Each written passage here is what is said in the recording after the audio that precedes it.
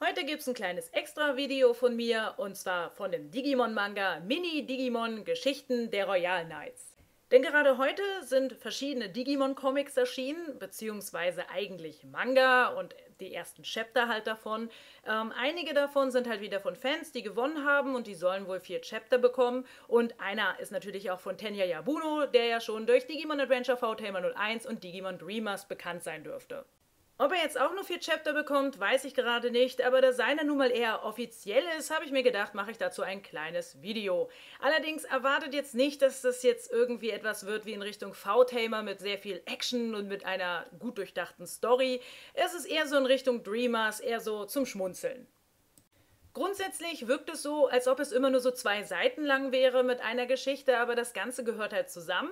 War im ersten Moment ein bisschen verwirrend, aber liest sich halt trotzdem ganz gut.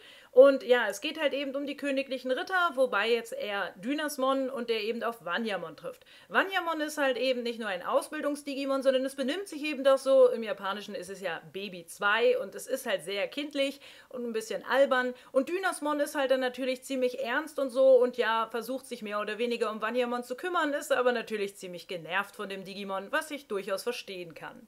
Das Ganze ist natürlich eher in Richtung japanischer Kinderhumor und man sollte es natürlich nicht zu ernst nehmen. Was mir allerdings sehr gefallen hat, abgesehen von den einfachen, doch netten Zeichnungen, ist, dass Dynasmon hier einfach mal der nette Typ ist. Er versucht zwar eine Fahrt zu machen, ist es aber nicht, beziehungsweise es fällt ihm gegenüber Wanyamon nicht leicht, denn in Digimon Frontier und auch in Digimon Savers, da war er ja nun wirklich eher so der Böse, könnte man sagen, und von daher ist das erste Chapter bis jetzt, würde ich sagen, schon ganz nett und man kann erwarten, dass es halt natürlich auch so weitergeht, ist klar. Und dass man hier und da natürlich auch nochmal äh, noch mal schmunzelt und ja, natürlich wird man wohl auch die anderen königlichen Ritter noch sehen.